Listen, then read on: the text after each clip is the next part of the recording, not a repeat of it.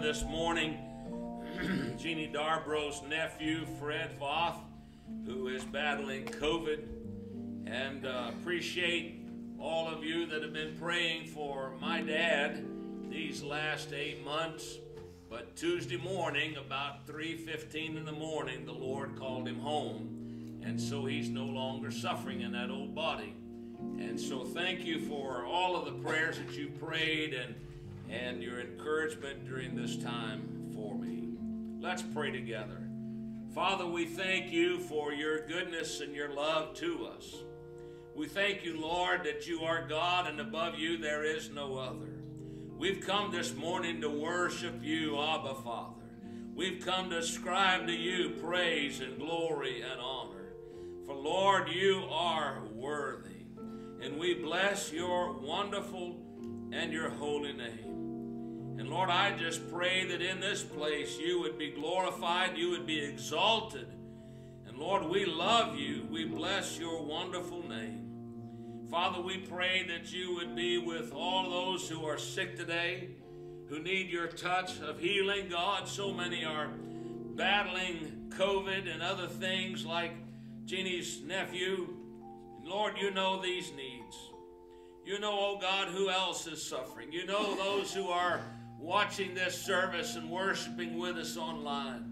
You know the needs that they have today. And I just pray that right now, each one would just cry out to Jesus and tell you all about their burdens and their troubles because you are the great burden bearer. And we give you thanks.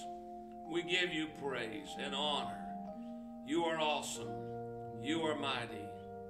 And Lord, I just pray that you would rule and reign in our world today. That your hand of protection would be upon those innocent persons in the Ukraine today. That your hand would be with those uh, refugees that are trying to find safe passage and crossing borders. I pray that you would go with them, that your spirit would surround every one of those innocent poor people and touch them, Lord. Give them your strength and may they be aware of your presence. And Lord, I pray that you would rule and overrule. I pray that you would conquer evil in this world. I pray, God, that you would move mightily in this world. And may they come to know Jesus as Lord and Savior. And that you are our soon coming King. Lord, I just ask that you would bring peace and harmony and a revival into this land. That people would come to know Jesus before it's too late. And Father, I pray that you would have your right of way right where we are, gathered here and gathered around a, a, an iPhone or a tablet or something to watch this service. And you're right there with them. Bless them today. Bless each one. And Father, we'll be careful to give you the praise and to give you the glory and the honor, for it is in the powerful and in the matchless name of Jesus that we pray, who taught his disciples to pray, Our Father, who art in heaven, hallowed be thy name. Thy kingdom come. Thy will be done on earth as it is in heaven. And give us this day our daily bread. And forgive us our trespasses as we forgive those who trespass against us. And lead us not into temptation, but deliver us from evil. For thine is the kingdom, and the power, and the glory forever. Amen let's again affirm our faith with the Apostles' Creed. If you would follow along with me and say, This is what I believe in, this is what I know. I believe in God the Father Almighty, maker of heaven and earth, and in Jesus Christ, his only Son, our Lord, who was conceived by the Holy Spirit, born of the Virgin Mary, suffered under Pontius Pilate was crucified, dead, and buried. he descended into Hades, and the third day he rose again from the dead. He ascended into heaven and sitteth at the right hand of God the Father Almighty. From thence he shall come to judge the living and the dead. I believe in the Holy Spirit, the church universal, the communion of saints, the forgiveness of sins, the resurrection of the body, and the life everlasting. Amen. And just uh, for just one short moment, I need to um, just uh, do one little bit of business, and that is you you voted last week, and uh, we have a tie position on the church board. The way that uh, things uh, fell into place, and so what I would uh, recommend is that instead of breaking that tie, that we would just increase the board by one, and uh, instead of six, we'd move it to seven and bring both of those persons onto the board. So, just real quick, would somebody make a motion for that? And would you make a second for that? And all those in favor said, That's a good idea. And all those that don't think that's a good idea, we're going to do it anyhow. no, just kidding. Just kidding. Just kidding. Say, well, I'll think about it. All right, so you then have elected to uh, the church board, if I'm getting all of this correctly, Keith Cowan, Bobby Earls, Barry Ganji, Clyde Luttrell, Jeannie Michael, Carolyn Norris, and Ray Zapata, Sunday School Superintendent Robert Brown, Sunday School Board Dana Brown, Connie Dunlap, Barry Ganji, Kerry Goins, Assembly Delegates, Brenda and Ray Zapata, NMI President Bob Goins, NMI Executive Committee, Renee Brown, Deborah Durden, Debbie Galloway, Kerry Goins, Marie Powell, NMI Delegates, Debbie Galloway, Jeannie Michael, Brenda Zapata, Ray Zapata, and NYI President, might I say, he was the only one that got a 100%. Maybe we'll elect him to pastor one of these days. Who knows? So, Austin, thank you. Lord bless you. And uh, don't forget, tomorrow night we have our uh, continuing in our strategic planning. And we had originally said that tomorrow night would be our sixth and final meeting, but we are moving on to more Monday nights and getting into some practical things. So we're looking forward to that. Continue to pray and believe with us. And um, the Lord richly bless you. And do you want it? Do you want it? If you want to. Okay. I'll move. Shall we stand, please? And let's greet our friends next to us there and tell them it's good to see them in the house this morning. Amen. Amen.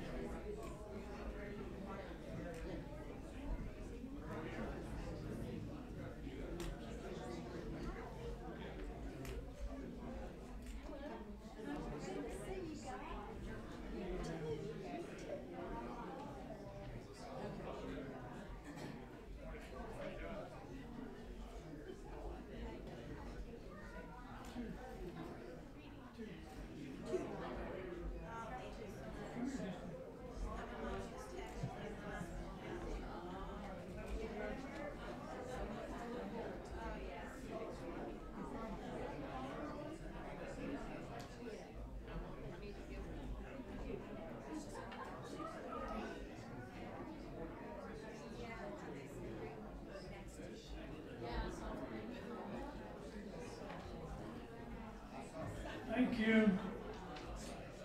Thank you. God bless. Thank you.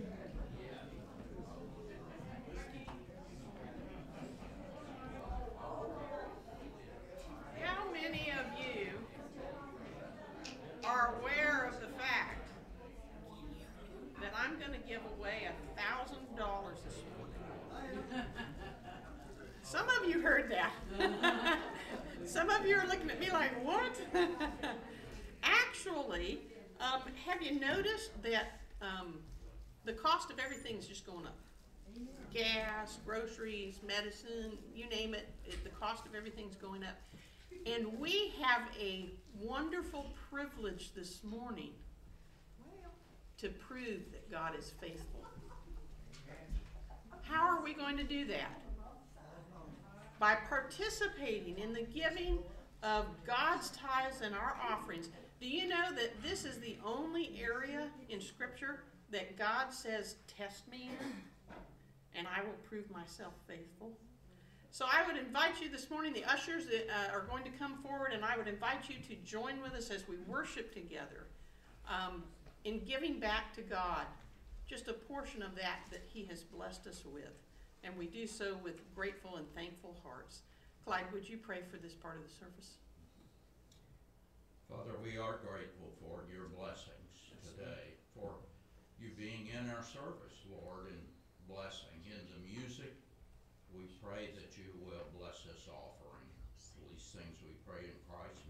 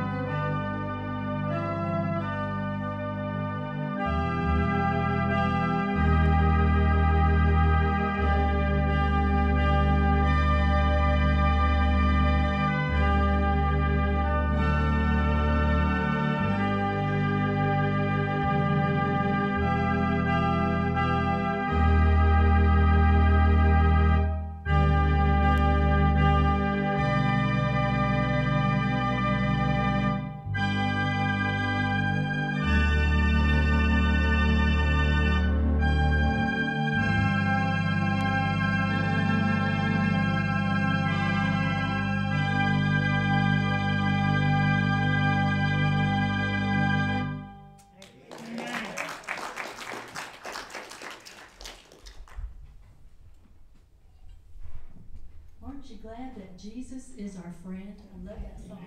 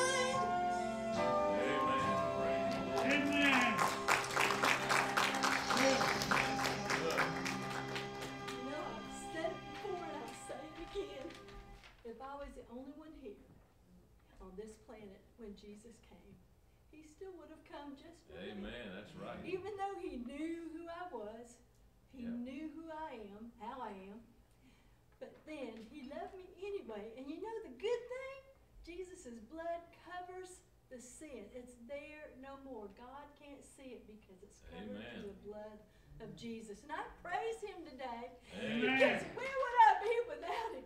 Amen. Praise Amen. God. That's right. Praise the Lord. Amen.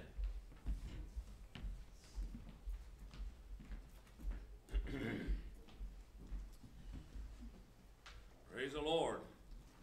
Anybody else you need to testify?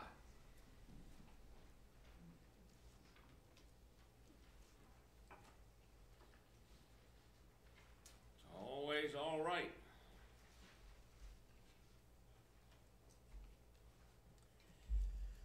He was on the cross. You were on his mind. Isn't that good news? Amen. Amen. I want you to turn with me in Genesis chapter 9. Genesis chapter 9.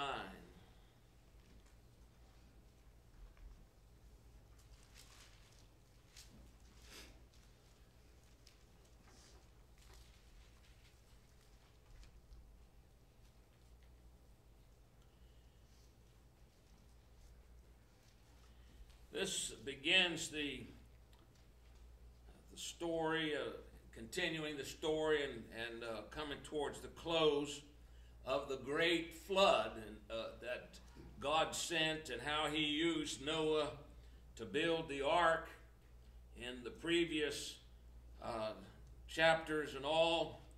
But we pick up in verse 1 of Genesis chapter 9.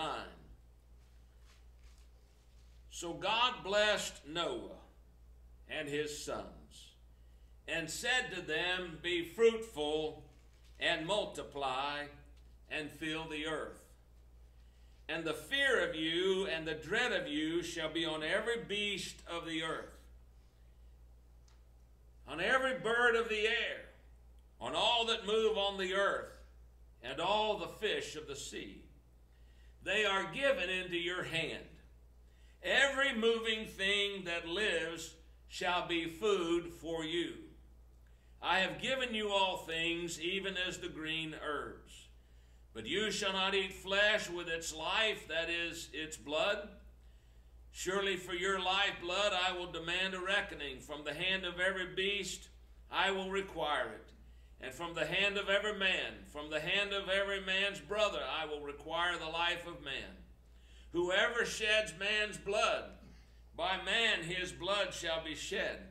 For in the image of God he made him. And as for you, be fruitful and multiply, bring forth abundantly in the earth, and multiply it. Then God spoke to Noah and said to his sons with him, saying, And as for me, behold, I establish a covenant with you and with your descendants after you, and with every living creature that is with you, the birds, the cattle, and every beast of the earth with you. All of that go out of the all that go out of the ark, every beast of the earth. Thus I establish my covenant with you. Never again shall all flesh be cut off by the waters of the flood. There's the promise of God. Right there, the covenant he enters into us. Never again shall all flesh be cut off by the waters of the flood. Never again shall there be a flood to destroy the earth. And God said, This is the sign of the covenant which I make between me and you and every living creature that is with you for perpetual generations. That includes us. He said, I set my rainbow in the cloud, and it shall be for the sign of the covenant between me and the earth. It shall be when I bring a cloud over the earth that the rainbow shall be seen in the cloud. And I will remember my covenant which is between me and you and every living creature of all flesh. The water shall never again become a flood to destroy all flesh.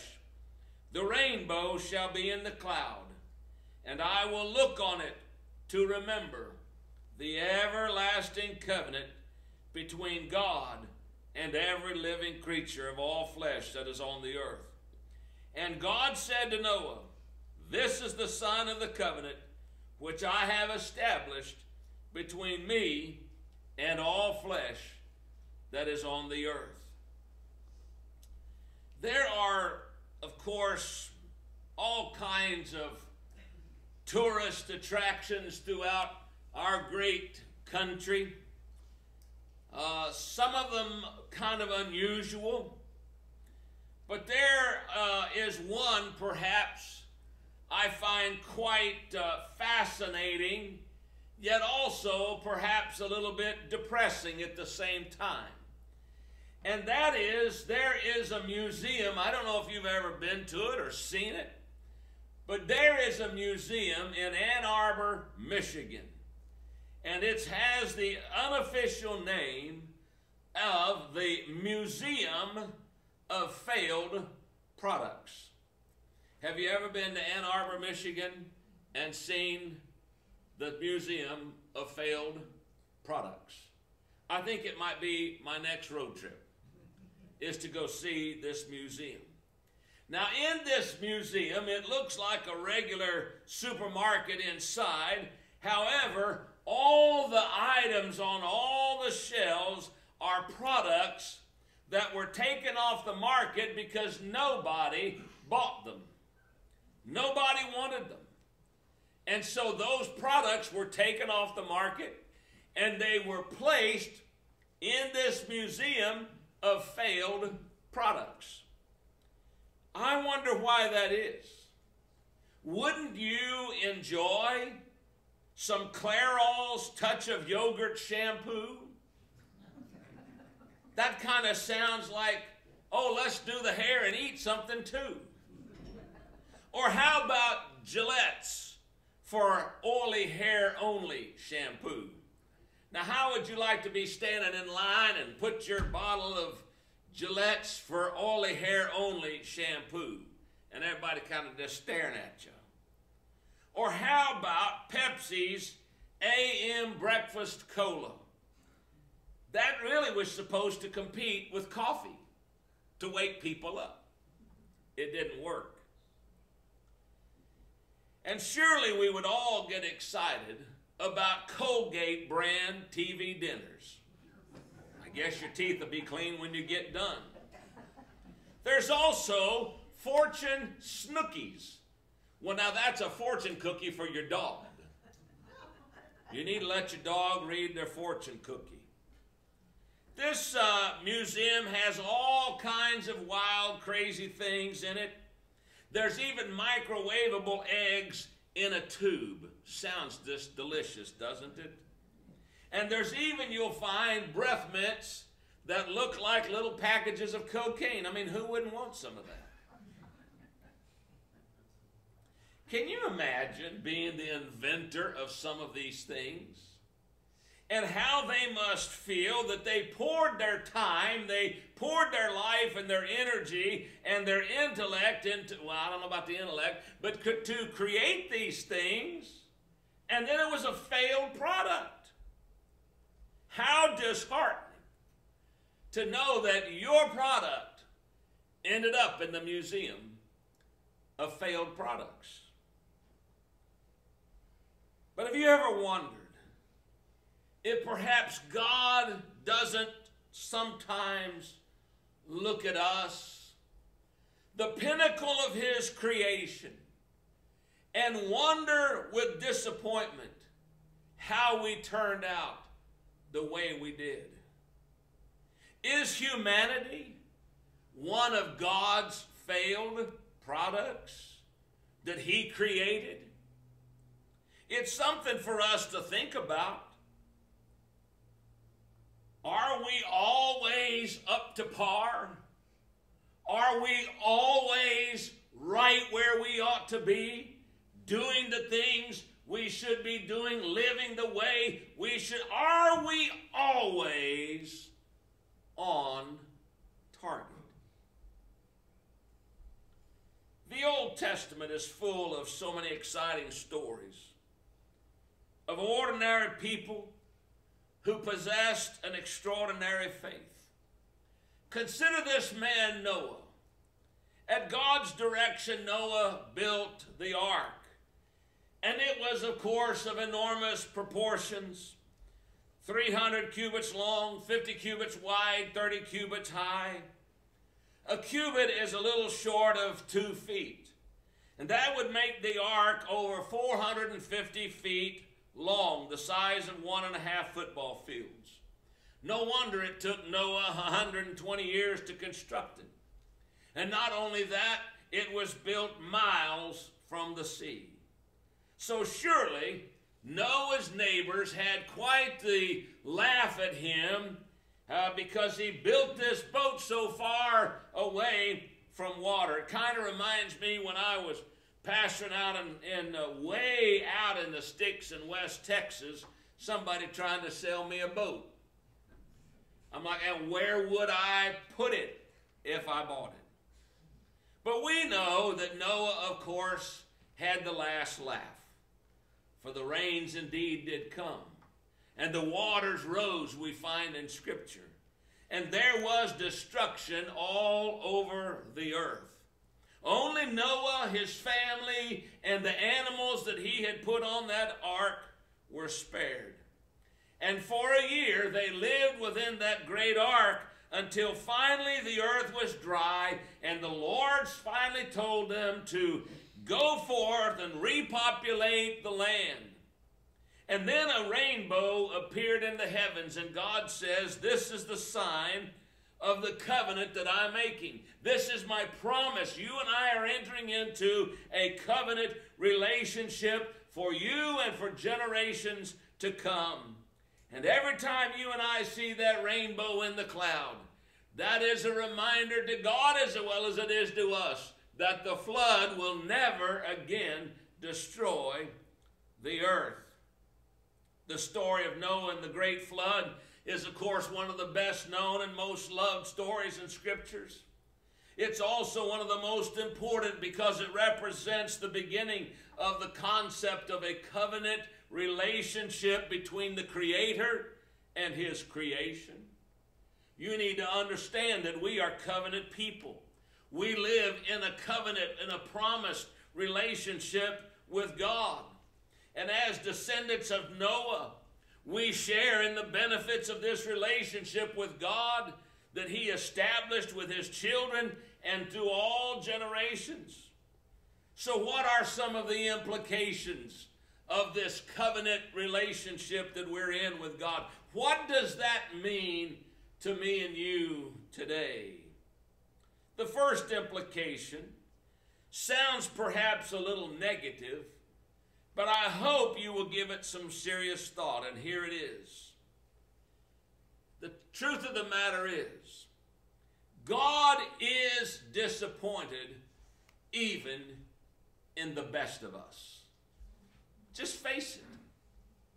Now, that may slap some people in the face of, well, what are you talking about? Surely you couldn't be talking about me. It's kind of like I've seen people when I'm preaching, you know, pretty directly, they just kind of lean over because they think somebody behind them really needed to hear that. but if we'll just face the fact, God is disappointed even in the best of us. Now, don't let that bust your bubble. It is a central truth of Scripture. Because God is disappointed even in the best of us. But the funny thing about that is, some of us don't look at it that way at all. Matter of fact, we, some of us, have the mindset of God really must uh, be a lucky guy to have me on his team. That's how some people approach God. I'm doing God a favor by being one of His. That's about the dumbest mindset a person could ever have. God knew what He was doing when He created human beings. God made us in His image. But out of His love for us, He also gave to each of us the free will to choose our own path. And we too often choose to put our own needs before God's desires and plans for our lives. In a speech made in 1863, Abraham Lincoln said, Lord, what I wouldn't give for a godly president and somebody that could lead and, and rally a, a, a country. Amen? Amen. Abraham Lincoln said, That sermon cost you nothing. And I hope it gets around into the world. We have been the recipients of the choicest bounties of heaven. We have been preserved these many years in peace and prosperity. He said, We have grown in numbers. Wealth and power has no other as no other nation has ever grown. But here's what Abraham Lincoln said. But we have forgotten God. Now that's the president. We have forgotten God, he said. Intoxicated with unbroken success, we have become too self sufficient to feel the necessity of redeeming and preserving grace. Too proud to pray to the God that made us. Sounds like Abraham Lincoln could have been a good evangelist.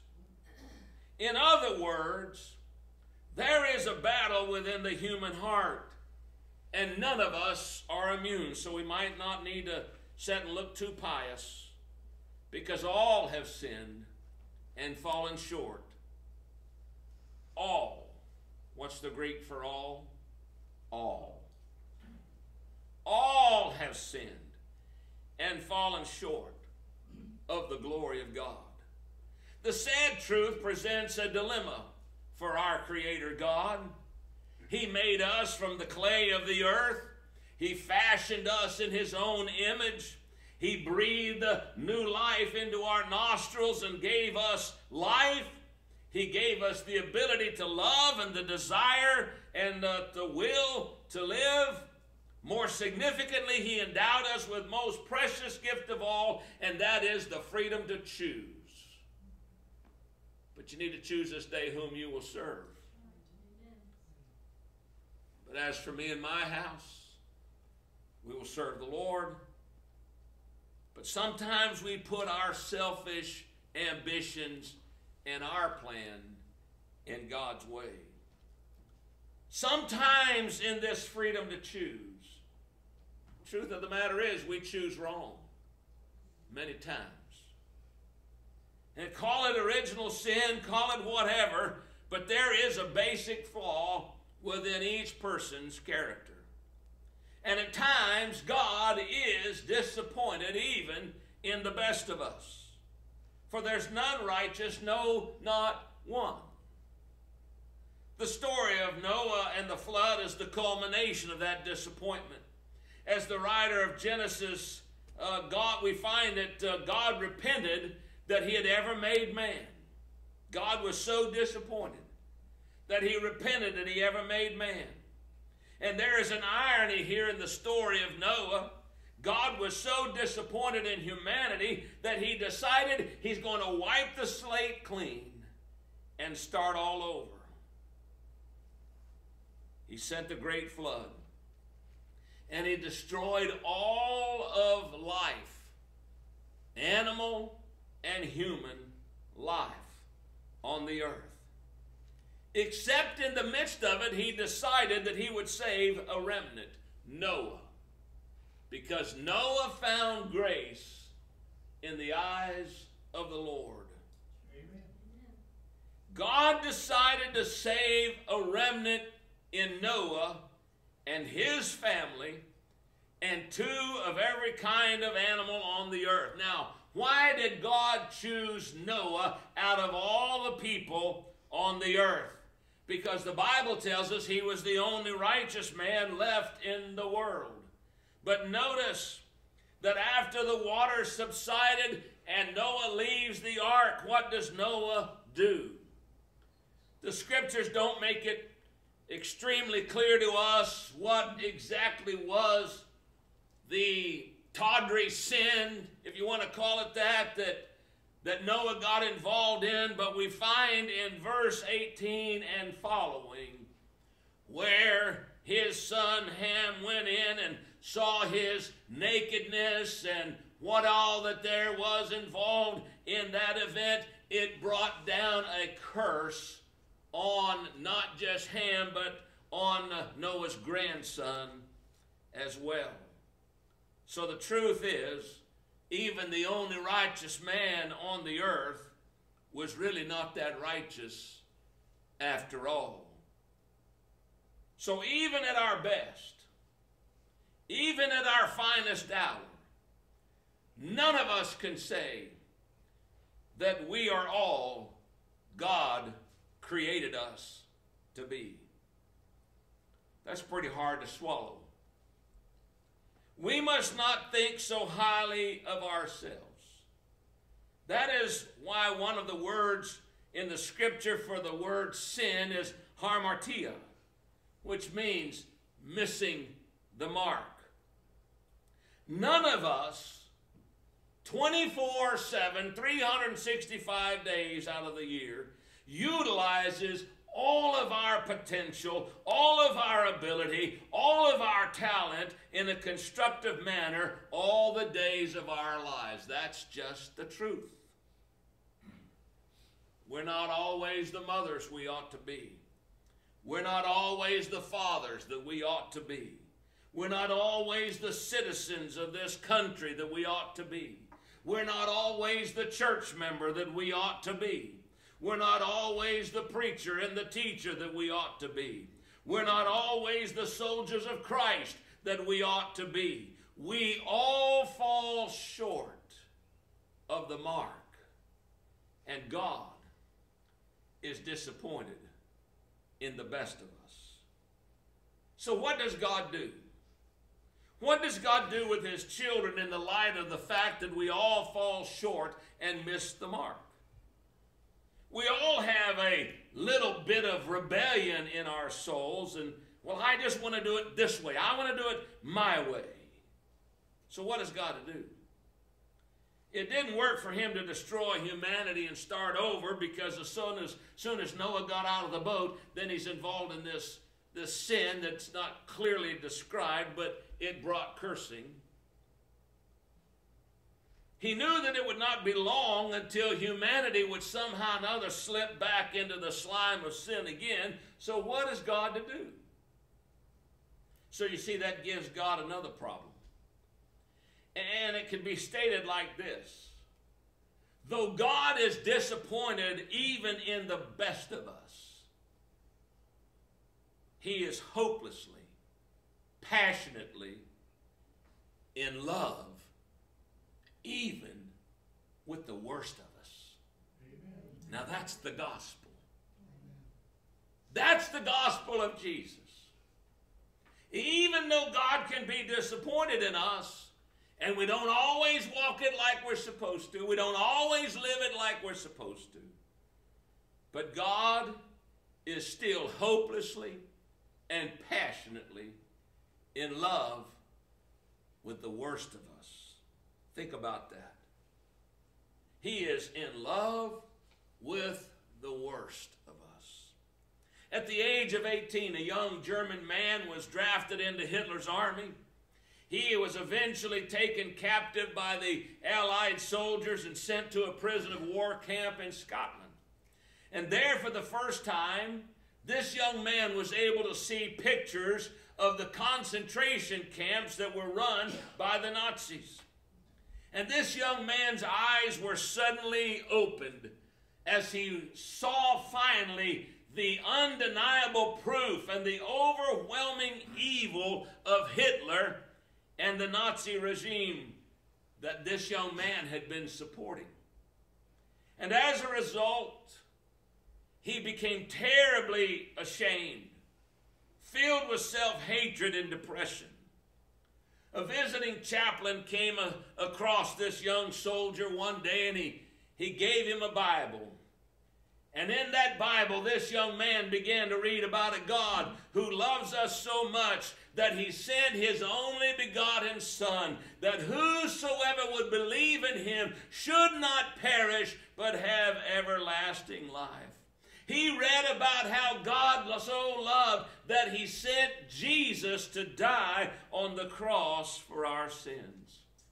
And so in 1947, that young German was invited to attend a Christian conference. And there he was received with love and forgiveness from Dutch Christians who had survived Nazi concentration camps during World War II. Now, the very people he had been uh, responsible for of hurting them and, and uh, imprisoning them, they are now welcoming him into their fellowship. How do you get that? Through the blood that atones for all of our sins. Amen. It helps you to go on and love in spite of the wrongdoings and in spite of the injustices that come our way.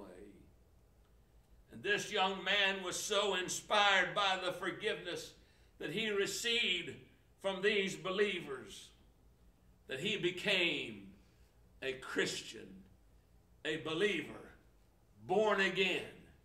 Now some would say he don't deserve it. Guess what? You don't either. None of us deserve what God's given to us. That's why it's called grace. This young man his name was Jurgen Moltmann. And this young man who became a Christian once in Hitler's army, he went on to become one of the most influential Christian theologians of the 20th century because he was welcomed and forgiven by the people he had imprisoned. He began to write books that influenced generations of pastors. He was particularly known for his theology of hope. And in one of his books, Moltmann wrote, The ultimate reason for our hope is not to be found in what we want, what we wish for, or what we wait for. He said the ultimate reason for our hope is that we are wanted, we are wished for, we are waited for, and God is our last hope because we are God's first love. Amen. Amen. We are God's first love. God, the creator of all life, the source of all that can be called good, the very definition of good. He loves us. God created us in His image. God breathed His life into our lungs. God made us the special focus of His love. And that was, the only, that was only the beginning of God's plan for us. That is the other horn of the dilemma. God is disappointed even in the best of us. But God is also hopelessly and passionately in love with the worst of us. Now, this dilemma forces God into an unusual role. Actually, God's last word concerning this dilemma is not found in the story of Noah, nor would it be found even in the Old Testament. It is found in the Gospels. Indeed, it is the gospel, and gospel means good news. Here's what God did He made a covenant with us. And He did that first here in Genesis 9 by putting a rainbow in the sky. But God did another covenant relationship and gave us a sign. And that sign is the cross. On the cross, on the cross, there hung God's perfect, spotless, sinless Lamb of God. The cross of Jesus. What can wash away my sin? Nothing but the blood of Jesus. What can make me whole again? Nothing but the blood of Jesus. You see, he who knew no sin became sin for you. He took your sin and my sin. The sin that God looks at and is disappointed in us sometimes. And Jesus took that sin and he nailed it to the cross. And so you and I can find hope and forgiveness and freedom. There's no other means of being saved or forgiven from our sins but the blood of Jesus. It's been God's plan from the beginning of time. So whenever you look at a rainbow in the heavens, remember God had a plan for redemption and he created it and began it before the earth was ever formed. He sealed that covenant with a promise and he made good on that promise with the cross of Jesus. I will glory in the cross. I will glory in the cross. For none of us are all we might be. None of us are all we could be.